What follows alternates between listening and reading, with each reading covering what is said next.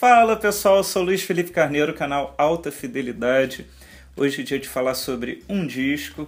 Eu escolhi um disco que acho que todo mundo aqui gosta. Chico Science, Nação Zumbi, Afro Ciberde, Ciberde, Afro Ciberdeli. É, tá aqui a versão em LP, que a Polisson lançou, não tem muito tempo. O meu original era em CD, mas esse eu gosto tanto que eu quis ter em LP. Esse disco, o Chico Science, né, daquela geração dos anos 90 do rock brasileiro. Você vê, nos anos 90 eu vivi bem essa época, foi a muito show deles, dos Raimundos, do Skank. Tinha também uma tal de Cássia Eller, que estava começando a fazer sucesso, Zélia Duncan. Mas mesmo assim tinha gente reclamando que estava ruim, não sei o quê, né? Imagina hoje, né, como é que mas enfim, o Chico Science Nação Zumbi, para mim, talvez tenha sido a última coisa muito, muito legal que surgiu no rock brasileiro.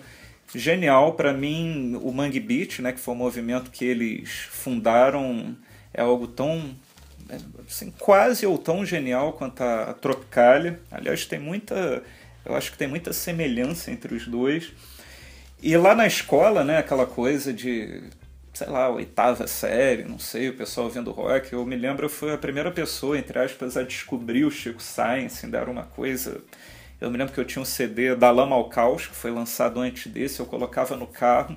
Meus amigos ficaram, ficavam loucos, a gente dá para meter seis amigos dentro do carro, era uma Ipanema, então três iam naquela bunda lá da Ipanema, todo mundo espremido para ver show no Imperator, no Canecão. Bons tempos que a gente fazia isso, né? É, bom, até me perdi. O que, que eu vou falar agora? Bom, esse é o segundo disco do Chico Science, Nação Zumbi.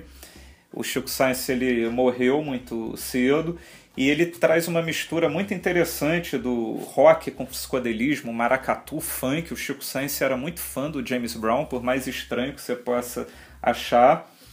E eu, já que eu falei um pouquinho da Lama ao Caos no início, eu vou voltar ele agora, porque da Lama ao Caos tem uma faixa que é monólogo ao pé do ouvido, que meio que é a primeira faixa, para mim é meio que uma carta de intenções do Mangue Beat. Você, ouvindo esses versos, você entende mais ou menos onde eles queriam chegar.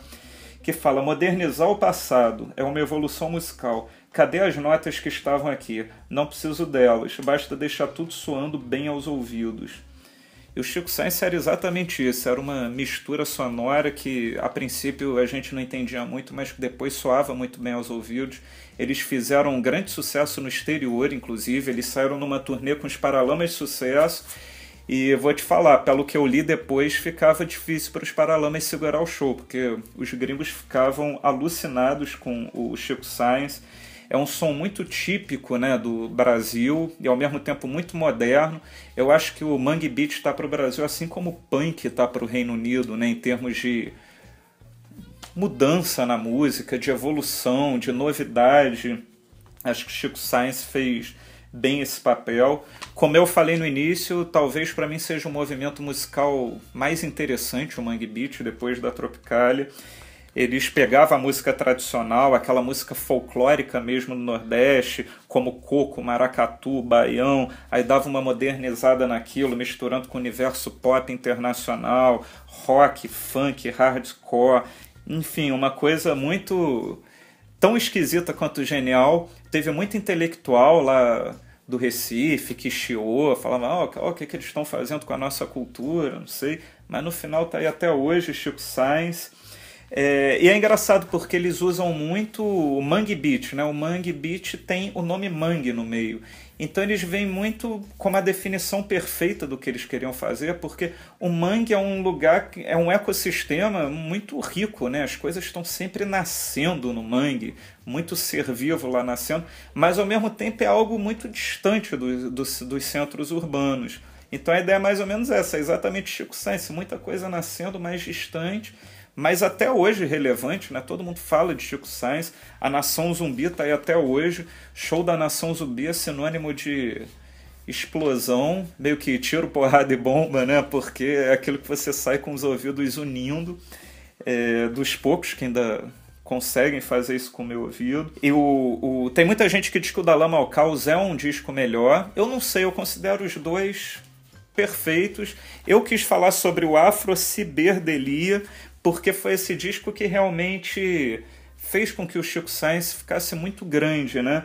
Ele tem músicas muito famosas como Manguetown, que os Paralamas gravaram depois no acústico, é, o Sangue de Barro, que tem uma percussão que para mim é o melhor resumo da percussão da Nação Zumbi, com uma guitarra também fodaça do Lúcio Maia, Corpo de Lama, que a KCL regravou lá naquele show do Rock in Rio, que foi fantástico. E também um grande sucesso do disco, Maracatu Atômico, né, que gerou um grande clipe na MTV que, do Jorge Maltner e do Nelson Jacobina, que o Gilberto Gil gravou. Enfim, pena que essa história durou pouco. Eu me lembro bem do dia que o Chico Sainz morreu. Foi véspera de carnaval, 97. Me lembro eu lendo, eu fiquei muito chocado. Tava sem essa minha cena de perder ídolos cedo. Em 96 tinha sido Renato Russo, Cazuza tinha morrido antes, os próprios Mamonas, né, que morreram em 96. Foi um dia muito triste, uma perda irreparável, e eu, do fundo do coração, prefiro acreditar que se o Chico Sainz estivesse vivo até hoje, a música brasileira seria ao menos um pouco diferente do que é hoje. Não é possível que o cara era muito gênio, era muito inteligente, ia ter muita coisa nova, diferente. É isso, eu falei tanto do Mangue Beat, né, um movimento importante no meio do rock dos anos 90, e eu queria saber de você o que, que você acha do Mangue Beat. Tem gente que não gosta muito, que acha esquisito, Queria saber se você gosta, qual disco do Chico Sainz que você gosta, se você se lembra do dia da morte dele, se você for um pouquinho mais velho. E é isso, e amanhã a gente está de volta com mais um vídeo aqui no canal da Fidelidade. Tchau!